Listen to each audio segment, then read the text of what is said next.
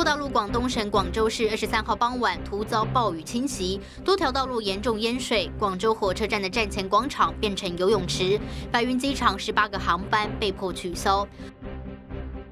通过网络、手机及实体投票争取普选的香港战中行动全民公投，三天来已经超过七十二万人。中共害怕香港风暴引爆大陆，最近北京市再度强化反恐措施，四大火车站派出所全部更新了枪支，并首次为巡逻警察配枪。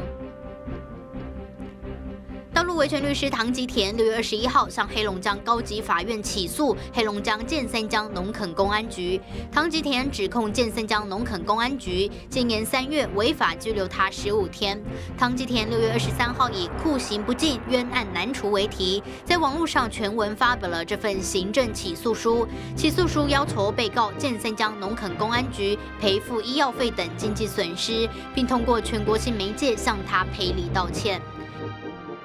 美国国土安全部官网最近发布去年取得美国绿卡的报告，去年有将近一百万人取得绿卡，中国大陆有七万一千七百九十八人，排名第二。新唐人亚太电视整理报道。